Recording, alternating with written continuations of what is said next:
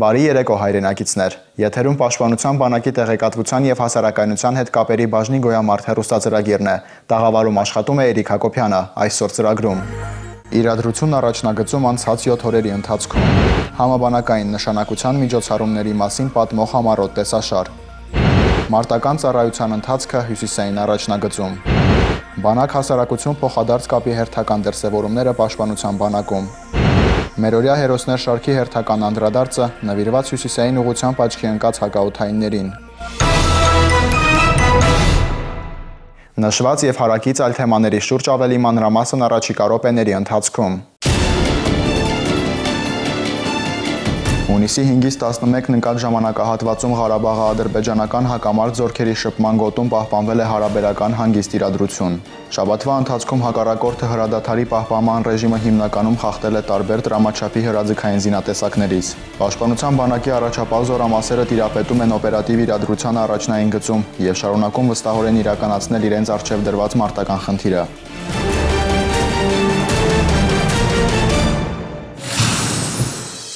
Հունիսի 10-ին Պաշտպանության բանակի շտաբի նիստերի դահլիճում Պաշտպանության բանակի հրամկազմի, շտաբի բաժինների եւ ծառայությունների պետերի, միավորումների եւ զորամասերի հրամանատարների մասնակցությամբ անց է կացվել ծառայողական խորհրդակցություն որը վարում էր Լեռնային Ղարաբաղի Հանրապետության պաշտպանության նախարար, պաշտպանության բանակի հրամանատար գեներալ լեյտենանտ Լևոն Մնացականյանը։ Խորհրդակցության մեկնարկին Հանրապետության ռազմական գերատեսչության ղեկավարը անդրադարձ է կատարել տարածաշրջանային ռազմաքաղաքական հավանական զարգացումներին եւ առաջնային գծում տիրող օպերատիվ իրադրությանը։ Այնուհետև քննարկվել են բանակաշինության ընթացիկ խնդիրներին վերաբերող մի շարք հարցեր, հատուկ ուշադրություն դարձնելով նախորդ խորհրդակցության ժամանակ տրված ցուցումների ու հանձնարարականների կատարմանը։ Հունիսի 6-ից 8-ը Պաշտպանության բանակի նախապատրաստական ստորաբաժանումների զինծառայողները ամփոփելով նախորդ մի քանի ամիսների ուսումնառության արդյունքները հանձնեցին ավարտական քննություններ։ Հանձնաժողովների դատի ներկայացնելով իրենց պատրաստությունն ու պատրաստականությունը մարտական ստորաբաժանումներում ներգրավելու համար։ Հյուսիս-արևելյան ուղությամբ տեղակայված զորամասերից մեկում ստուգողական գործընթացները վերահսկում էր բանակի հրամանատարի առաջին տեղակալ գեներալ-մայոր Միքայել Արզումանյանը, ով կարևորելով բոլոր առարկանները հանձնաժողովի անդամներից պահանջեց առանձնահատուկ պահանջկոտություն ցուցաբերել բոլոր այն հարցերի նկատմամբ, որոնք կարող են առնչվել մարտական հերթապահությանը։ Նշված ստորաբաժանումների սպայակազմն ու կրծեր հրամկազմը եւս ուսումնաշրջանի ողջ ընթացքում նորակոչիկների մոտ աշխատել են զարգացնել հենց այն որակները, որոնք անհրաժեշտ են լինելու մարտական հերթապահությունում։ Քարորիա ռազմական գործողությունների յանց դրական ազդեցություն ունեցավ անձնակազմի բարով հոգեբանական պատրաստվածության վրա ավելի կոփեց անձնակազմը ճիշտ է ուսումնական փուլի ծրագրից շեղվեցինք բայց Սա իր դրական կողմ ունեցավ, ամբողջ ուղղվածությունը եղավ մարտական պատրաստականության վրա։ Անձնակազմը միանշանակորեն արդեն 100%-անոց կարելի է համարել, որ պատրաստ են մարտական հերթապահությունում ընդգրկվելու, այսինքն նոր ստորաբաժանումներ իրանց բաշխելուց հետո իրանք արդեն մարտական հերթապահությունում որպես կայացած զինվորներ են գնալու։ Նորակոչիկները բոլորն էլ սկզբից տրամադրված են եղել ուսումնական փուլին հրամանատարները, ինչպես նաև սերժանտները փորձել ենք նրանց մեջ սերմանել հայրենասիրությունը, փորձել ենք նրանց ամեն ձև մեր սեփական օրինակով տրամադրել ծառայությանը ծառայության դժվարություններին զորքը այսօր պատրաստ է ուսումնական փուլի ավարտի ավարտական քննություններին կարծում եմ ուսումնական փուլը նրանց ինչ որ թեկուս կարճատ է բայց համենայն դեպս նրանց պատրաստել է մարտական երթապահության Իրենք նորակոչիկները իրենց արդեն պահում են հասուն զինվորականների նման։ Ապրիլյան պատերազմը լինելով լրջագույն փորձություն վերջիններիս համար նաև նպաստել է, որպեսզի նրանք արագ հարմարվեն ոչ միայն ծառայողական, այլ նաև մարտական պայմաններին։ Սովորեն ճիշտ կրակել եւ տեղաշարժվել մարտադաշտում, զբաղեցնել պաշտպանություն, կահավորել դիրքերը, ճանաչել հակառակորդին եւ գնահատել զինվորական ընկերայնությունը։ Տղաները պատրաստ են ժամ առաջ ընդգրկվել մարտական խնդիրների կատարմանը, եւ ջանք չէին խնայում հանձնաժողովի անդամներին գործնականում ցուցադրելու իրենց գիտելիքներն ու ունակությունները։ Իդեպ հենց քննությունների ընթացքում տարբեր առարկաներից աչքի ընկնող նորակոչիկները ապարգևատրում էին համապատասխան կրծքանշաններով։ Որքան ուժ ունենք ներդրել ենք, որպեսի պատրաստվենք այս վերջի փուլին, որ ավարտենք եւ գնանք դիրքեր։ Մեր զորամասում բազմաթիվ տղաներ են եղել, որ հերոսաբար կռվել են։ Մենք էլ ենք պատրաստ նրանց պես հերոսաբար կռվենք։ Այս ամիսների ընթացքում մենք փորձել ենք մեր ամբողջ ուժով սովորել, որպեսզի կարողանանք ավարտել մեր ուսումնական փուլը։ Այս ապրիլյան դեպքերն էլ երկու ամիսը մեզ վրա ազդել ավելի լավ, ավելի մարտունակ ենք դարձել եւ ավելի հպարտ ենք, որ ծառայում ենք հայոց բանակում։ Եվ մենք խոստանում ենք, որ կսովորենք լիարժեք եւ մարտական հերթապահությանը պատրաստ ենք ամբողջ ուժով։ Մենք շատ բան ենք սովորել։ Մանավանդ այս վերջին երկու ամսվա ընթացքում ագին բաներ սովորել ենք, զգացել ենք ու վեվի հեշտ կլնելի մեր համար արդեն աշխու շատ համարցակ պատրաստ ամեն պայս գոն Հարավային ուղությամբ տեղակայված զորամասերից մեկում քննությունների ընթացքը վերահսկում էր բանակի հրամանատարի անձնակազմի հետ տարվող աշխատանքների գծով տեղակալ գեներալ-մայոր Վարդան Բալայանը։ Այստեղ եւս նորակոչիկների պատրաստության գործընթացը անցել է հակառակորդի հրետանու կրակի մարտական գործողություններով պայմանավորված արտակարգ պայմաններում։ Եվ չնայած դրան հարամկազմը հոգացել է, որ เป զի տղաները 6 ամիս անց հայտնվելով դիրքերում ունենան ռազմական գիտելիքների եւ պատրաստության այնպիսի մակարդակ, որը կապահովի մարտական առաջադրանքների կատարման բարձր աստիճան։ Ուսումնական գումարտակը հանձնում է հավարտական քննություններ, որպեսզի համալրեն առաջնագծի գումարտակները։ Երկրորդ հերթին ինչը տալիս մեզ հավարտական քննությունները եւս մեկ անգամ հանձնակազմի հիշի իր պարտականությունները եւ իր գործողությունները մարտի դաշտում, որպիսի հակառակորդի սադրիչ գործողությունների ժամանակ կարողանան հմուտ եւ ճիշտ օգտագործեն իրենց ձեռք բերած գիտելիքները մարտի դաշտում։ Ստուգելուց բացի հանձնաժողովի անդամները ցուցաբերում էին նաև մեթոդական օգնություն, տեղ գտնող թերացումների վերացման ուղղությամբ տալիս անհրաժեշտ ցուցումներ։ Վերջիններս վստահ են, որ պատրաստության ներկա մակարդակով Նորակոչիկները ամենակարճ ժամանակահատվածում կներդաշնակվեն նոր ստորաբաժանումներում եւ արժանի հերթապող կհանդիսանան ավակ զինակիցների համար։ Այս հարցում կասկածներ չունեն նաեւ ոչ նորակոչիկները, ոչ էլ նրանց անմիջական հրամանատարները։ Պատրաստ ենք հերթափոխել տղաներին, որպեսզի նրանք վերադառնան իրենց հայրական տները, մեր парքը կատարելով մենք նույնպես վերադառնանք։ Նշենք, որ այս օրերին նման գործընթացներ են իրականացվել Պաշտպանության բանակի բոլոր զորամասերի նախապատրաստական ստորաբաժանումներում իսկ նորակոչիկների պատրաստության իրական մակարդակը գնահատելու հնարավորություն կունենանք շուտով, երբ վերջիններս կստանձնեն դիրքապազին ծառայողի առաքելությունը։ Վաղը հունիսի 12-ին Արցախում, Հայաստանում եւ Սփյուռքում ազգովի կխնկարկենք հայոց նորագույն պատմության եւ ազգային ազատագրական պայքարի երկու հզորագույն ներկայացուցիչների Հայաստանի Հանրապետության եւ Արցախի հերոսներ Մոնթե Մելքոնյանի եւ Յուրա Պողոսյանի զոհվելու հերթական տարելիցը անհատները, ովքեր ստանալով գաղափարական առումով արմատապես մեկը մյուսից տարբերվող կրթություն եւ դաստիարակություն, հանդիսանալով քաղաքակրթական լիովին տարբեր արժե համակարգերի կրողներ, Ճակատագրի բերումով եւ արյան կանչով 20-րդ դարավերջին հայտնվեցին փոթորկված Արցախում եւ զինվորագրվեցին հանուն հայրենափրկության տարվող ազգային ազատագրական պայքարին այդ նպատակի համար զոհաբերելով նաև ամենաթանկը։ Երկուսն էլ Հայաստանի Հանրապետության եւ Արցախի հերոսներ են, ոսկե արծիվ շքանշանի ասպետներ։ Երկուսն էլ տարիներ շարունակ հանդիսանում են այն ուղենշային կերպարներից, ովքեր օրինակ են հանդիսանում եւ որոնց կյանքի ու գործունեության հերոսական դրվագներով ողջավորված հայրենաց պաշտպանների նոր սերունդները մղվում են դեպի նոր մակարոններ, նոր հերոսություններ եւ մարդկային հնարավորությունների նոր նշաձողեր։ Իրենք էլ իրենց հերթին ամրագրելով սեփական անունները հայ ժողովրդի հերոսական տարեգրության էջերում։ Սա մեր ճակատագիրն է։ Մենք չենք կարող ավելի պակաս նվիրված լինել, քան Մոնթեն եւ Յուրա Պողոսյանն էին։ Իսկ այն տղաները, ովքեր պետք է համալրեն մեր բանակի շարքերը, չեն կարող եւ իրավունք չունեն լինել պակաս հայրենասեր, քան Ռոբերտ Աբաջյանը, Արմենակ Ուրֆանյանը եւ մեր մյուս նահատակ քաջորդինները։ Սա օրինաչափություն է, որը մեզ համար դարձել է կենսակերպ։ Այսպես ժողովուրդները վերենացում ազգերի, տարածքները դառնում են հայրենիք, հիշողությունը պատմություն, իսկ նպատակները ռազմավարություն։ Այսպես ապրել ենք հազարամյակներ եւ այսպես կմնանք ու կապրենք այսուհետ։ Հայաստանի Հանրապետության Պաշտպանության նախարարությունը հայտարարում է 2016-2017 ուսումնական տարվա Պաշտպանության նախարարության Վազգեն Սարգսյանի անվան ռազմական եւ Մարշալ Արմենակ Խամփերյանցի անվան ռազմական ավիացիոն ինստիտուտների արական եւ իգական սեռի, Ռուսաստանի Դաշնության եւ ՀԱՊԿ անդամ պետությունների, ինչպես նաեւ Պաշտպանության նախարարության պատվերով Հանրապետության բուհերում եւ Երևանի Պետական Բժշկական համալսարանի քոլեջում հատկացված տեղերի միայն արական սեռի ներկայացուցիչների ընդունելություն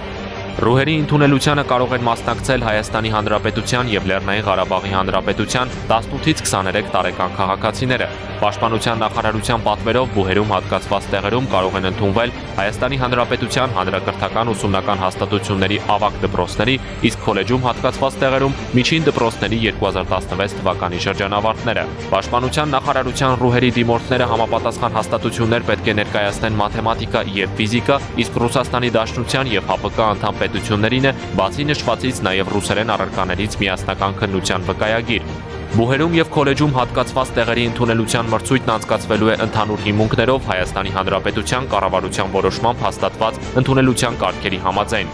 Ընդունելությանը մասնակցել ցանկացող դիմորդները փաստաթղթերի ձևակերպման համար մինչև 2016 թվականի մարտի 1-ը պետք է դիմեն բնակության վայրի զինկոմիսարիատներ։ Հանրապետության հյուսիսային սահմանագոտում զինծառայողները ճիշտ հետևություններ են կատարել ապրիլյան զարգացումներից եւ ներկայումս մարտական հերթապահությունը իրականացնում են դրանց հաշվառումով։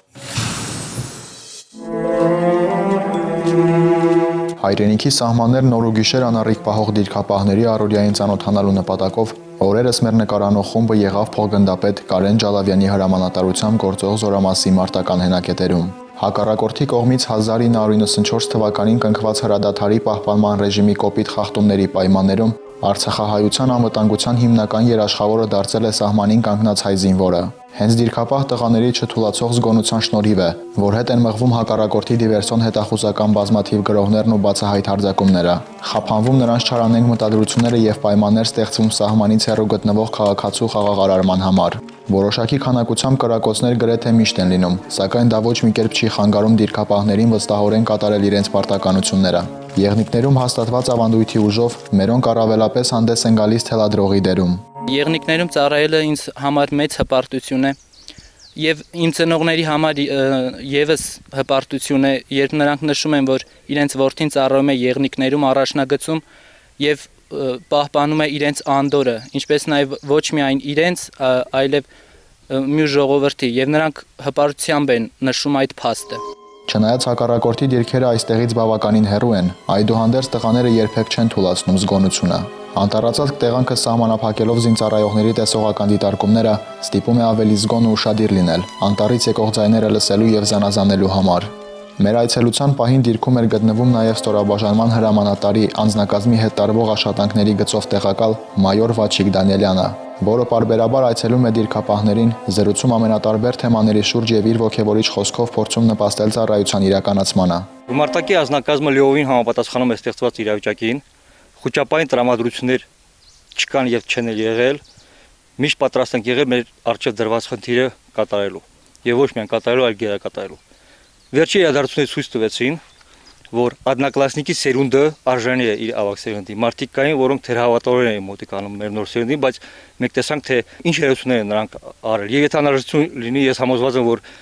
այն գումարտակի հանրական որտեղ ծառայում ես նույնն է անելու եւ իր աստեղային պահը հերոսանալու պահը բաց չթողել։ Պետք է այսօր հենց հիմա լուծենք մեր հարցը, որպեսզի ապահովենք մեր երեխաների բարեկեցիկ ապագա։ Շարքային Վարդան Վարդանյանը շուրջ 22 ամիս է ինչ ծառայում է Պաշտպանության բանակի շարքերում եւ լավագույնս է յուրացրել դիրքապահի պարտականությունները հաջողությամբ կատարելու նրբությունները։ Յուրաքանչյուր պահի միշտ պատրաստ ենք ամեն հանդգնության հակառակորդին սանձելու։ Տղաները բոլորն էլ մարտական տրամադրություն ունեն եւ առանձնապես ողջավորված են մեր ժողովրդի եւ հատկապես նոր սերնդի ցուցաբերած միասնությունից ու դիրքապահներին ուղված падգամներից։ Իրեն շնորհակալությունը եւ սրտի խոսքն ուղելով բոլոր նրանց, ովքեր պատրաստական են դիրքերում կանգնած զինծառայողներին ինչ որ բանով օգնելու։ Տղաներն իրենց հերթին վստահեցրին, որ ամեն ինչ անելու են հայրենիքի սահմաններն անառիկ պահելու եւ մեր ժողովրդի սպասելիքները արդարացնելու համար։ Thank you. Լեռնային Ղարաբաղի Հանրապետության Պաշտպանության նախարարության գեներալ լեյտենանտ Քրիստոֆոր Իվանյանի անվան ռազմամարզական վարժարանը հայտարարում է 2016-2017 ուսումնական տարվա ընդունելություն։ Վարժարան ընդունվելու համար կարող են դիմել հանրակրթական դպրոցի 9-րդ դասարանն ավարտած պատանիները։ Ընդունելության համար անհրաժեշտ է քննություն հանձնել ֆիզկուլտուրա առարկայից, անցնել համապատասխան բուժզննում։ Մյուս առարկաների համար հիմք են հանդիսանում հանրակրթական դպրոցի 9-րդ դասարանում ստացած ավարտական քննությունների գնահատականները։ Պաշտպանության նախարարությունը հոգում է կրթության եւ ուսման ընթացքում ապրուստի հետ կապված բոլոր ծախսերը։ Լեռնային Ղարաբաղի Հանրապետության Պաշտպանության նախարարության գեներալ լեյտենանտ Քրիստոֆոր Իվանյանի անվան ռազմամարզական վարժարանի ուսման պայմանների եւ ընդունելության կարգին վերաբերող հավելյալ տեղեկատվություն կարող եք ստանալ ձեր իսկ տարածքային զինկոմիսարիատից։ Ներկայացվող տեսաշարը անդրադառնում է բանակ հասարակություն փոխադարձ կապի շրջանակում օրերս տեղի ունեցած մի շարք նախաձեռնությունների։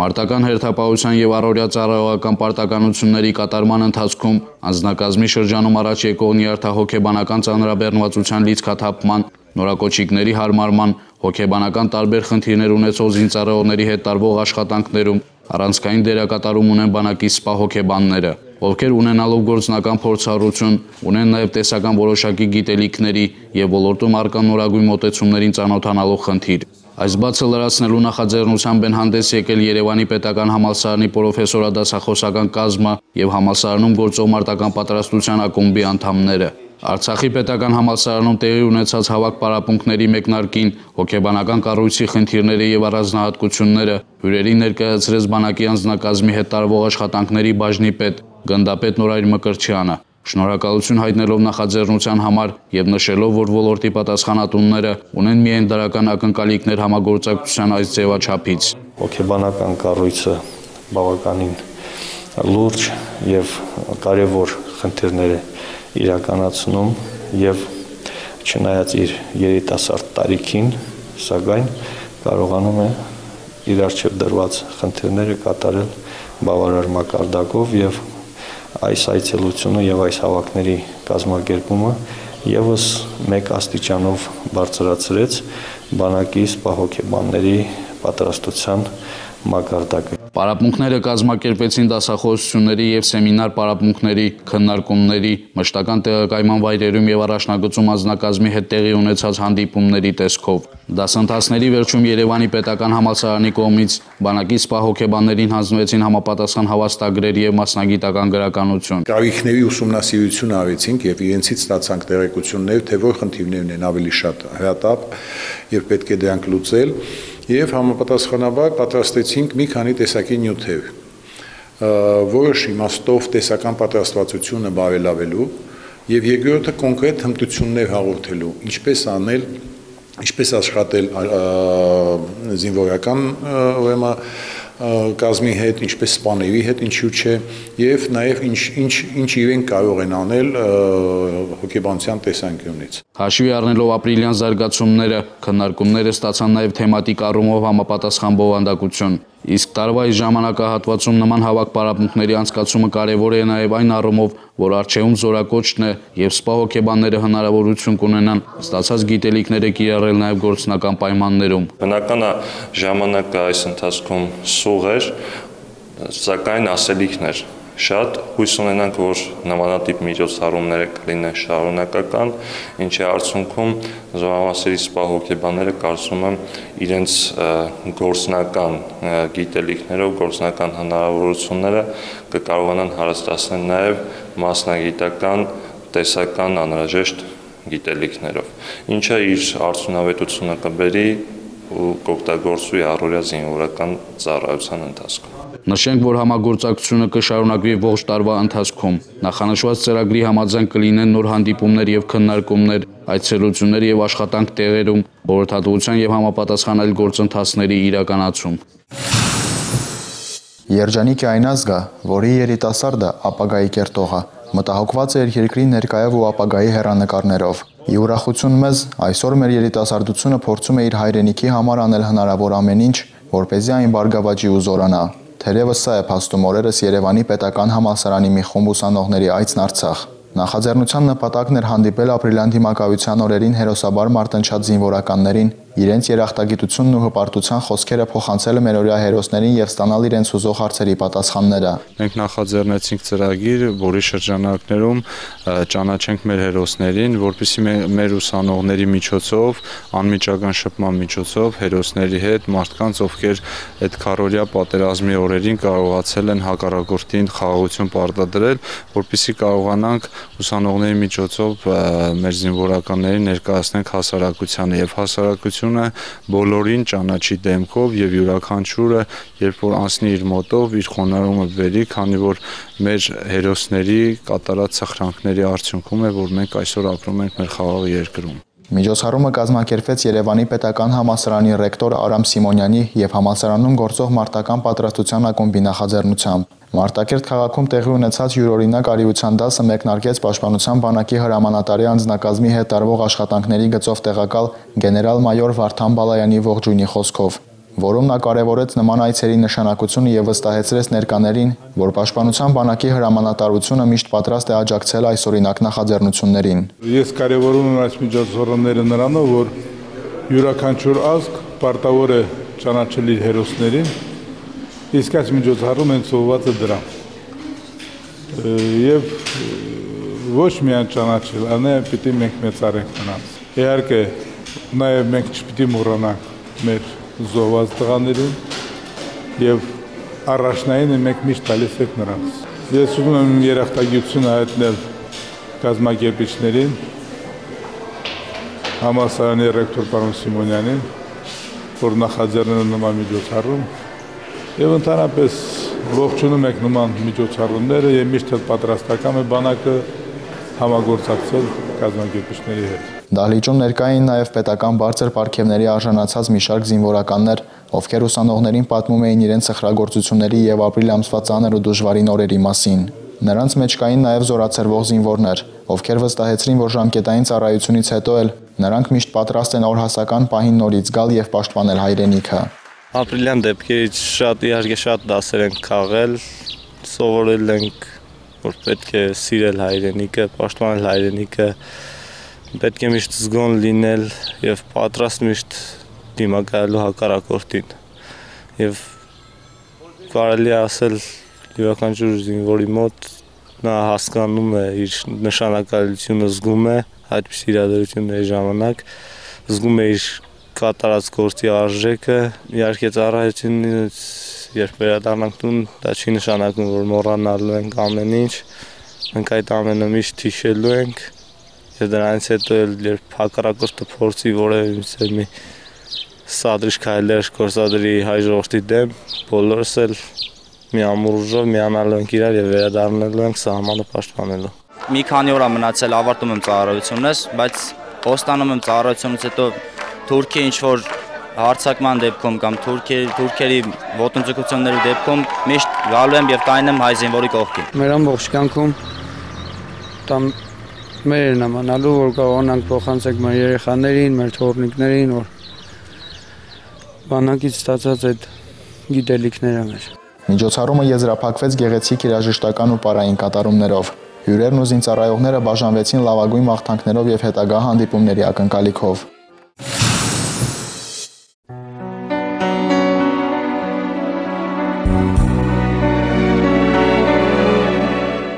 Արցախյան ազատամարտում իրենց անուրանալի ավանդն են ունեցել նաև աղջիկները, ովքեր իրենց սուրբ ուսերին զենք կրելով մարտադաշտում տղամարդուց ոչ պակաս զինվոր են եղել։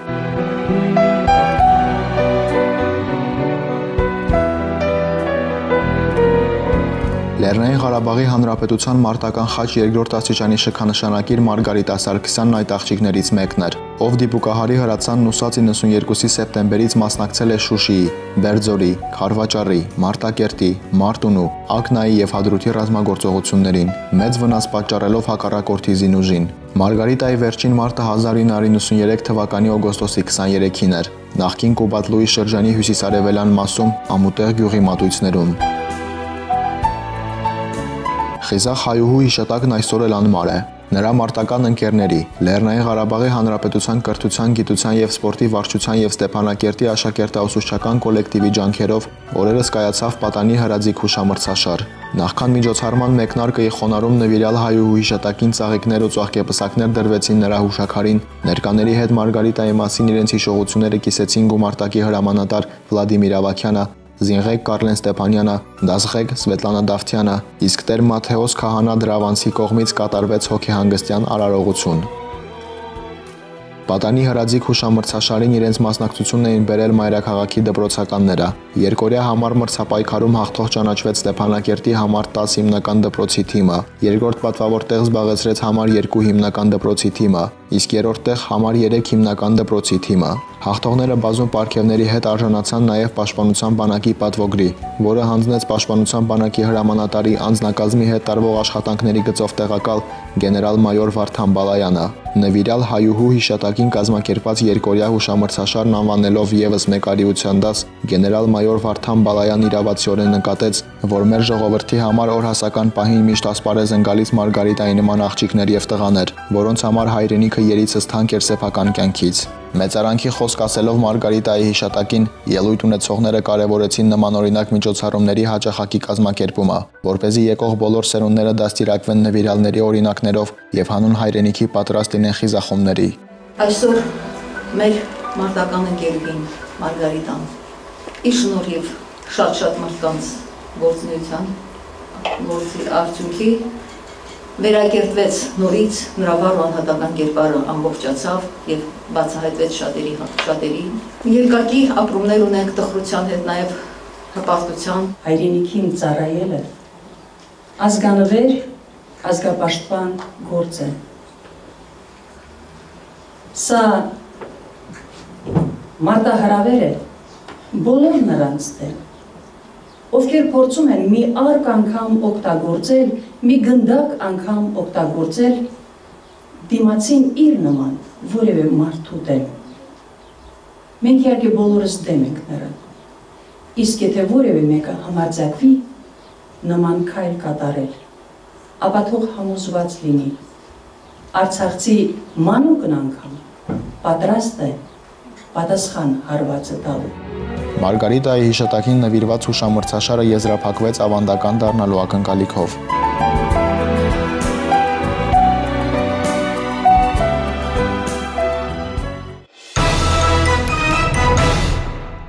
Այսօրվա գոյամարտը եզրափակում ենք մերօրյա հերոսներ շարքի հերթական անդրադարձով։ Այն նվիրվում է հյուսիսային ուղությամբ աչքի ընկած հակաօթայիններին։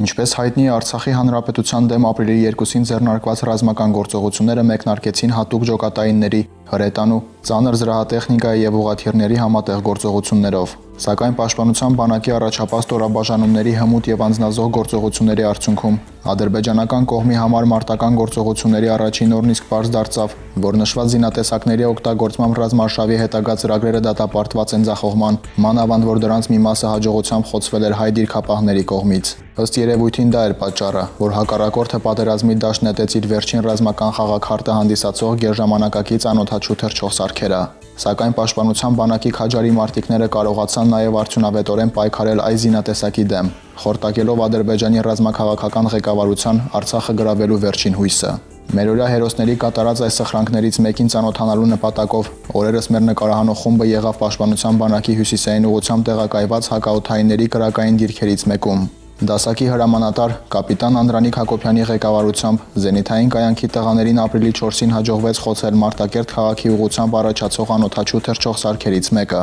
Օթային դիտարկման կետում դիտարկում անելու ընթացքում հայտնաբերել եմ գորհային անօթաչու թրջող սարք, որից հետո անհապաղ զեկուցել ԶԸ Ընթարթերարետանայի մարտկոցի հրամանատար կապիտան Հակոբյանին։ Դիտորդի զեկույցից հետո քանի որ ազնագազմը գտնվել է